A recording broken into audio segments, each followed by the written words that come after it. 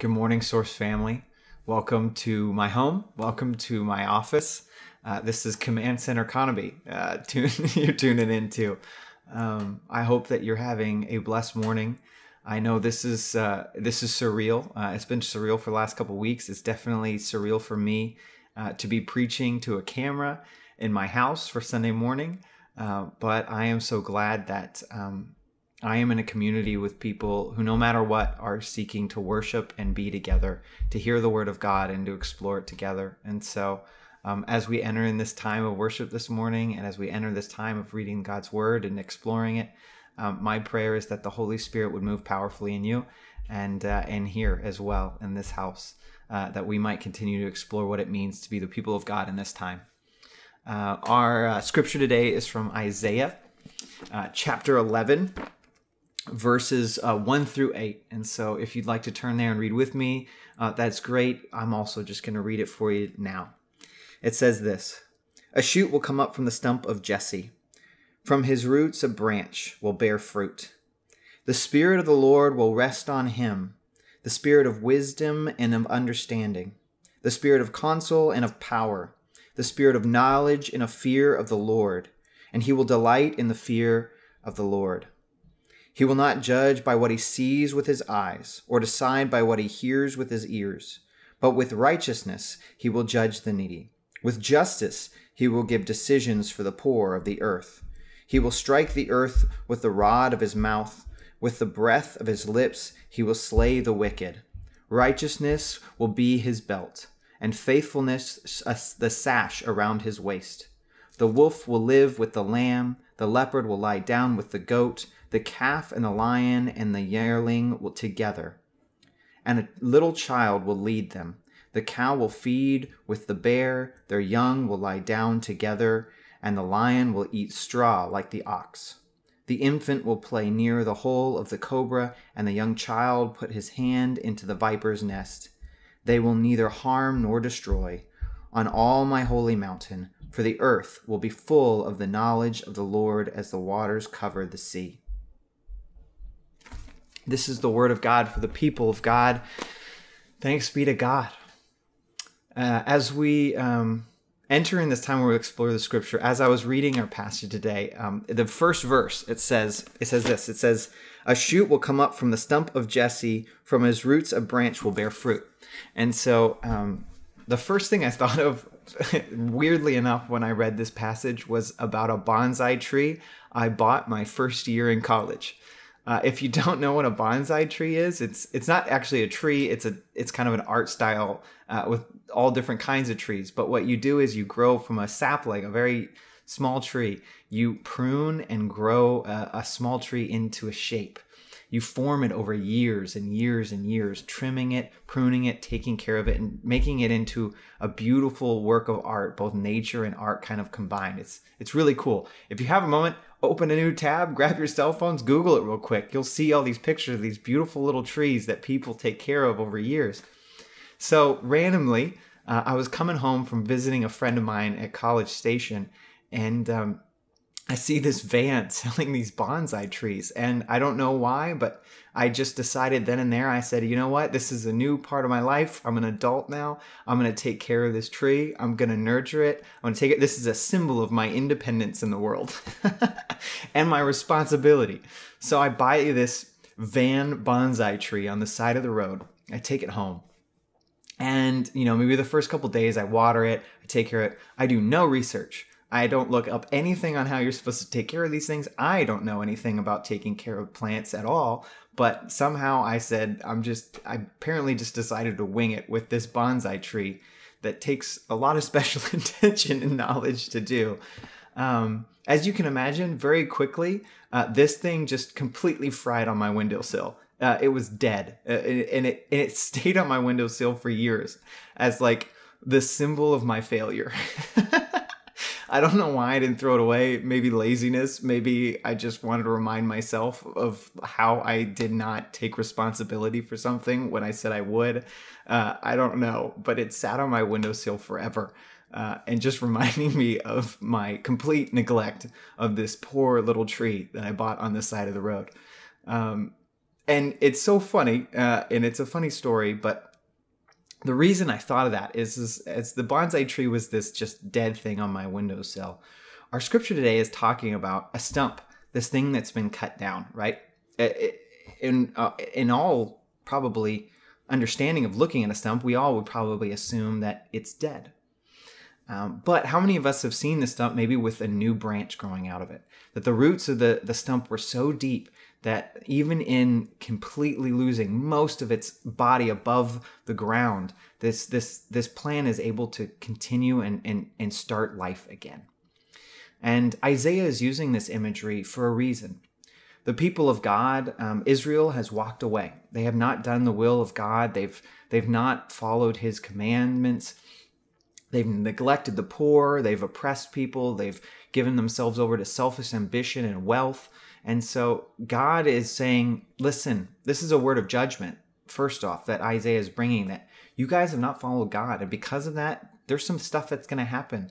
You haven't walked in his ways. You haven't walked in the way in which he calls you to live faithfully in this world. And because of that, like the results of your selfishness are going to come back at you. Um, and in one hand, this is a word of judgment. And on the other hand, we just read the word of hope. Because Isaiah wasn't just saying, listen, because you guys haven't followed God and you're going to reap what you sow. He's also saying, out of that, God is going to continue to be faithful. And this has been the journey of Scripture throughout humanity and history that God has always been a God who continues to walk with his people, who continues to walk with the world, slowly bringing him them back to what he originally created us to be. From the very beginning, when God created humanity, when God created this planet and we stepped away and, and sin and, and selfishness corrupted it and started killing this thing that, that God had created and destroying it, instead of destroying it, instead of letting it be a dead plant on his windowsill just to look at and remind him of his failure, God said, No, I'm going to prune this thing down, I'm going to trim it down, and we're going to regrow it. We're going to rebuild it back to what it was supposed to be.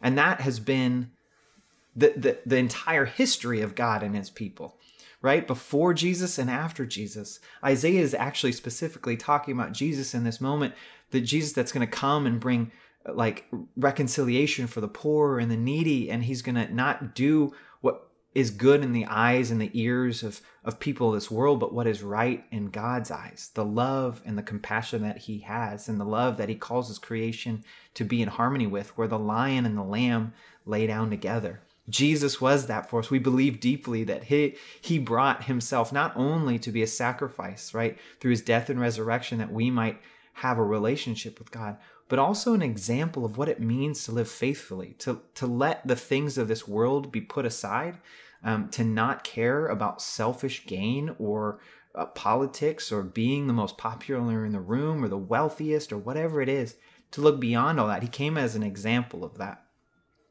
In the midst of crises like this, um, we hold on to this hope. We hold on that God has never decided to let the thing die on his windowsill. And in fact, he began new growth. He began new growth and he's continuing to nurture it. The church today, since Jesus has grown over the years, and yes, there's been some pruning.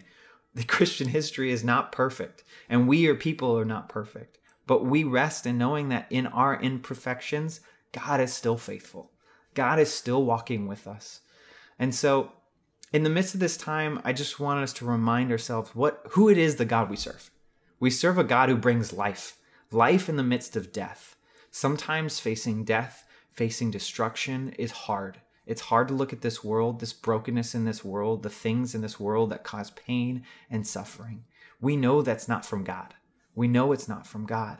But we also know that out of those terrible things, that God is continually bringing new life and redeeming it and bringing it closer to who he wants us to be and what he wants this world to be. He's not only in the business of redeeming our hearts, but the world, the created world around us, nature itself. And so, as we enter in the season, it's important that we know the God we serve, a God of life and abundance, of compassion, the God that promises to clothe us when we need clothes and to feed us when we are hungry, the God that promises to bring us peace in the midst of suffering, the God that walks with us through the deepest valleys that we might experience. The second word I have, and the thing that I want to kind of acknowledge is that it's okay not to be normal right now. In the passage Isaiah that we just read right here, um, the people of God, Isaiah is speaking before and after, right? At, before the um, the exile of of the people of God, so they're going to be conquered by the Babylonians and other people, and they're going to be exiled from their land. And so he's he's delivering this word of judgment and hope before, and his words of judgment and hope are also delivered after when they return. The people of God, as they were exiled, needed something to hold on to. They needed a hope. They needed to remind themselves who they were and who they were meant to be. And so when we're in the midst of not being normal, that's okay. When we're in the midst of wrestling through fear and anxiety and stress and pain and suffering, that's okay. God doesn't call us to not feel these things. He knows it's a part of this world and he wants to speak his life into it. But that doesn't mean ignoring it. It doesn't mean pretending like it doesn't exist. It means acknowledging it. It means thinking about it. It means living into it. It means being faithful in the midst of it. And so, if you needed the word today that it's okay not to be okay, you have it. God knows our pain. He's with us in our pain. He doesn't call us to ignore it, but He wants to be with us in it. The people of God continually went back and forth in this relationship. And the church, even after Jesus has gone back and forth, we have made mistakes, we have come back, we've returned to Him. And in the midst of the seasons in which we we faced the brokenness of the world, like war and plague and sickness and death, God is still walking. He's still bringing new life. He's still pruning. And so, as we hold on to the hope, as we acknowledge where we are, we have a call forward. There's a call forward into this. Um, unfortunately, in Isaiah, after the people return, they don't return back to God. They continue to doubt, they continue not to follow his will. And the the stump has been cut. And it's a painful story. And and it's okay for it to be painful. It's okay for us to, to know that because it calls us to be faithful now. Um, there are seasons where we don't get things right.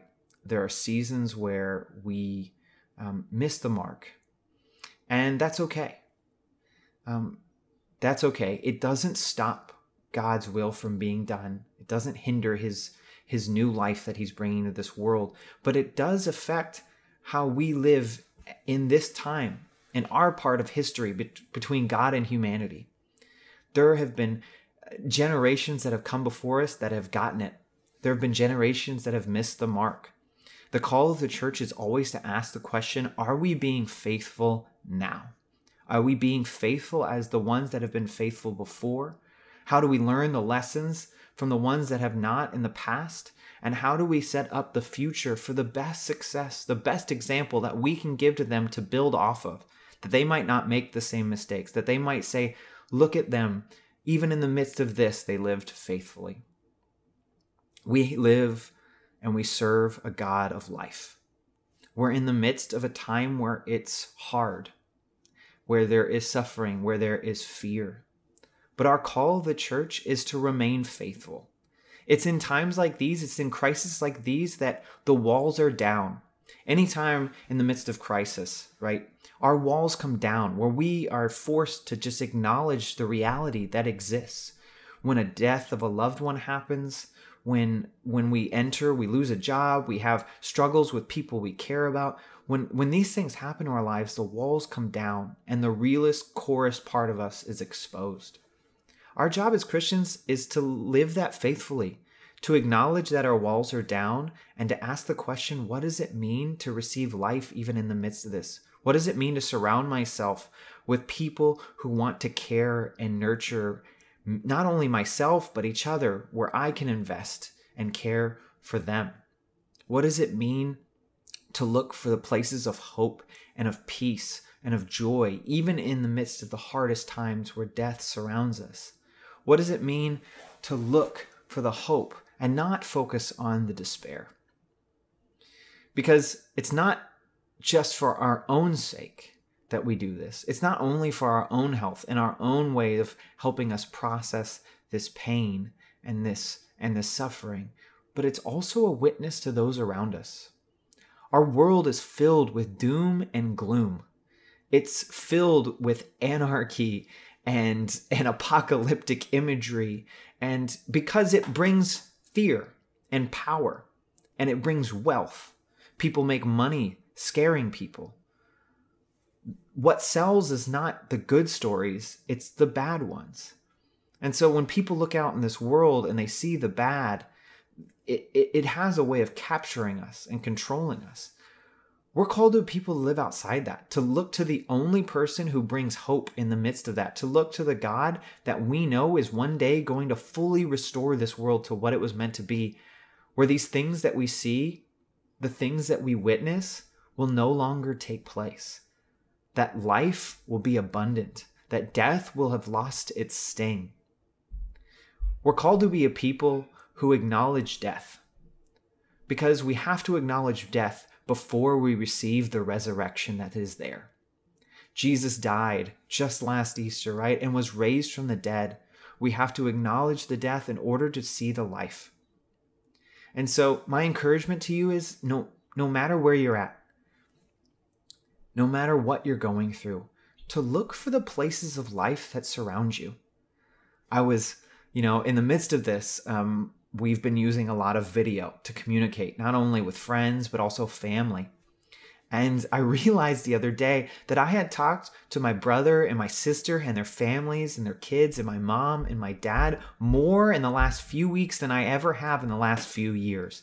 And not only that, I had seen their faces more. We live all over the country. And so I've I've actually interacted more with my family in this season than I did before.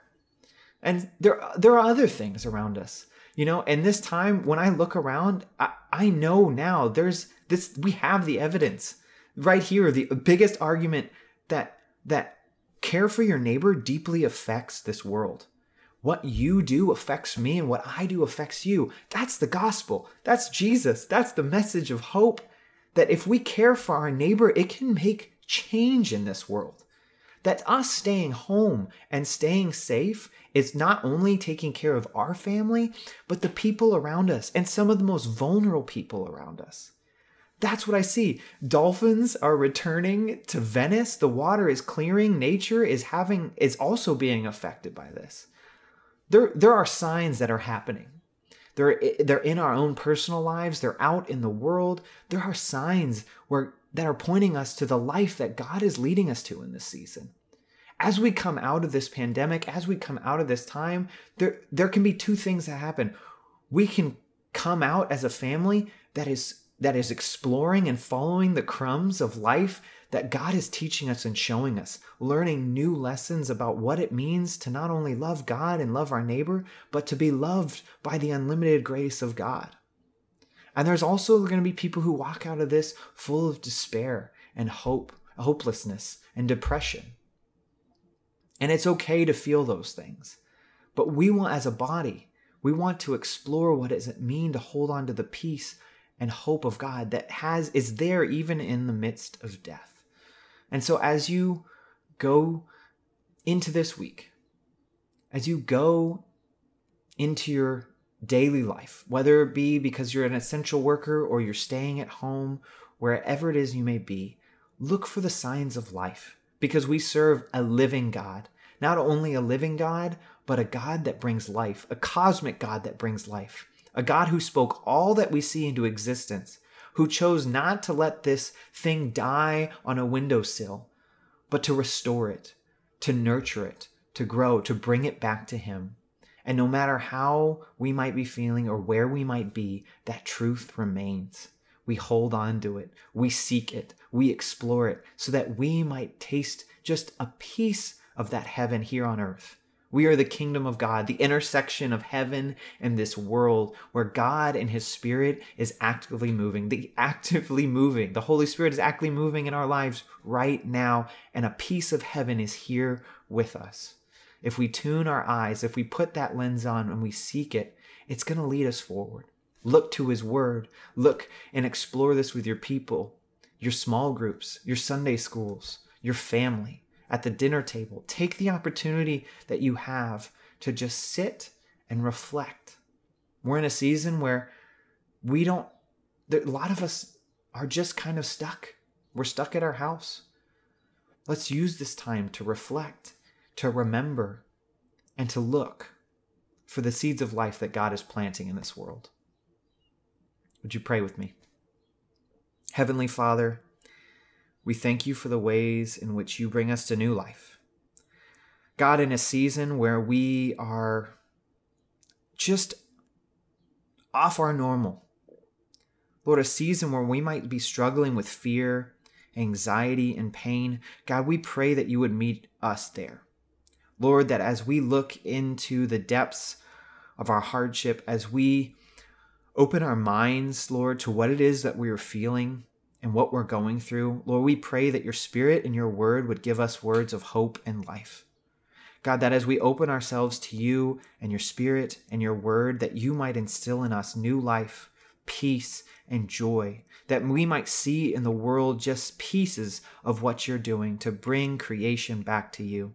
God, as our eyes are opened, as we see the world in new ways as you would have us see it, Lord, will we be bold enough to share that with others? Will we be bold enough, Lord, to share it with our family, our friends, our loved ones, and our neighbor? God, help us in a season where we have to be socially distant, Lord, to not be socially isolated, to find ways to care for others in the midst of all of this. God, we rest in your life and your abundance. God, lead us closer to who you call us to be. Lord, we live for you and we know that you, Lord, love and care for us. Lord, we give you this time. We give you our lives. and your precious and holy name we pray. Amen. Source family, as you go from here, as you go from your computer screen back just to your life, would you receive this blessing? Would the God of the universe, the God who created everything, richly speak blessing and compassion and grace into your hearts and your minds? That as you go from this place, as you go from this time, that He might be with you, opening your eyes to the deep love He has for you and the calls He has for you to care for those around you. Go in the peace and the love of God. Amen.